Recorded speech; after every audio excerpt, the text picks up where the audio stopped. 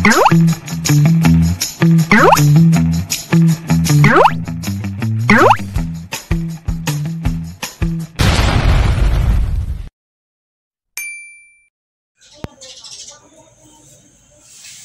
back mga ka-WJT.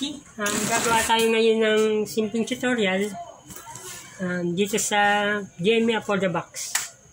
Um, madalas ito yung nagiging problema. Okay. Kung mapapansin nyo, nakaboot. Tapos wala siyang picture. Kahit i-power natin, um, hindi siya nag-off. Tapos pag hinugot ko, at sinaksak natin, nag-GMA naman siya, lumalabas yung kanyang display, tapos na mawala, pero nakaboot lang. Kasi yung ating isa-solve kung ano naging problema. Okay, ito yun. Tingnan natin yung kung kumpleto naman yung voltahe. Okay, check natin yung voltahe nito. Yan, nakaboot pa rin siya dapat normal yung voltahe. Dapat dito may supply na 5 volts. Okay siya, hindi siya naglalaro yung voltahe. Normal yung voltahe sa 5. Tapos dapat dito may 1.5. Okay. Hindi man siya naglalaro. Okay naman siya dito. Tapos dito dapat may 1.2. 1.2 na kasi 196 na eh. 0.4 na lang para maging 1.2. Uh, normal naman dito. Tapos dito, dapat may 3.3. Yan. Okay naman siya. Yung supply ng EEPROM, yan yung 3.3 volts. Yan na, 3.3 volts. Sa supply, wala tayong problema. Normal naman yung capacitor, hindi naman siya lobo. Hindi naman siya lobo. Okay naman yung capacitor natin. Kadalasan sa mga ganitong nagiging problema yung humihingi ng auto update.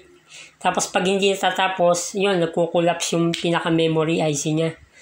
Yung pinaka-program, uh, nagkakaproblema.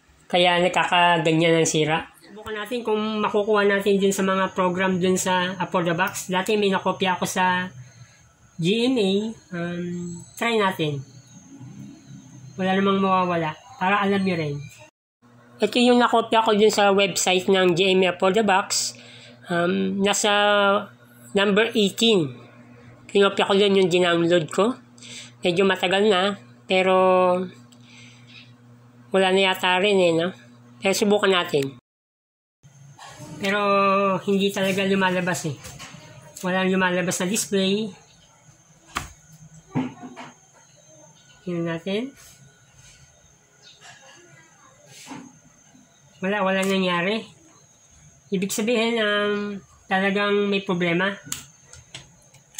Ang gagawin natin dyan, kung makikita nyo itong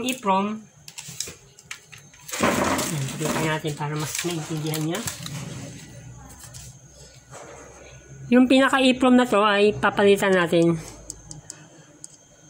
Kasi yung pinaka-program niya, nag-collapse na kumbaga wala nang laman. Kaya ang lumalabas na lang yung GMA tsaka nakaboot lang. Uh, meron din ganito yung no power, yung wala siyang display. Um, pagka kumpleto yung supply, ang kadalasan yung memory lang din yung pinapalitan. Pero pag may pang-program tayo, um, ipoprogram na lang natin. Kasi pwede pa naman yan. Hindi pa naman si Ryan, nag-collapse lang yung pinaka-program dun sa loob. Kaya ang gagawin natin dyan, uh, ipoprogram na lang natin. Okay? Pero itong gagawin natin dito, uh, tatanggalin ko lang pero pwede pa naman itong i-program eh. Okay?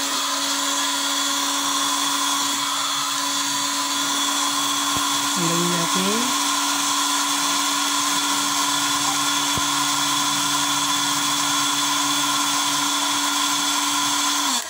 Okay, tanggal na. Itong IC na to yung good na program.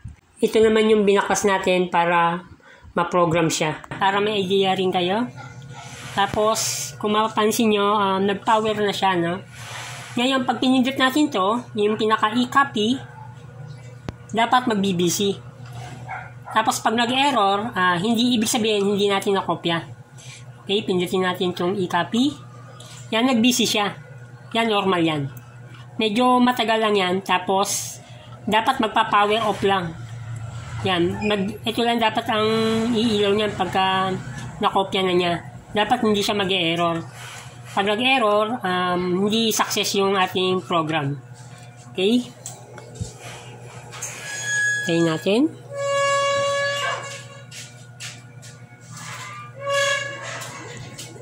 Yun. Nag-power na siya. Okay? Ibig sabihin, success yung program natin.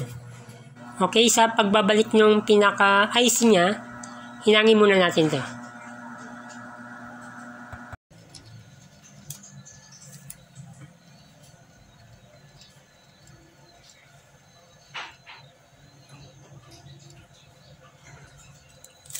Okay. Pagka ganito ang sira, um, pagawa niyo sa technician talaga para siguradong mabubuo. Okay. Natin.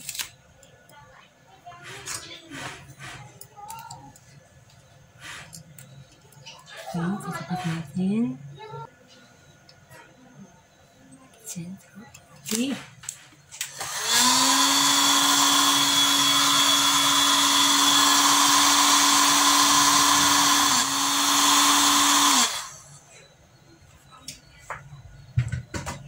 Okay.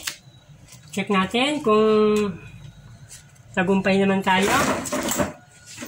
Yan, i-open natin para makita. Hindi, on natin yung TV. Kung magkakaroon. Okay. Check natin.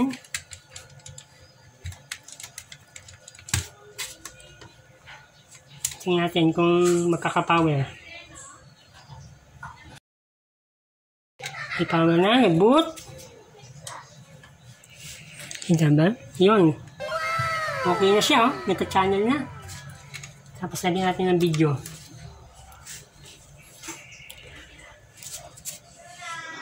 Okay. Tapos lagyan natin antena. Tapos antena. Yan, oh. Meron na. Okay na siya. Maraming salamat po sa panonood.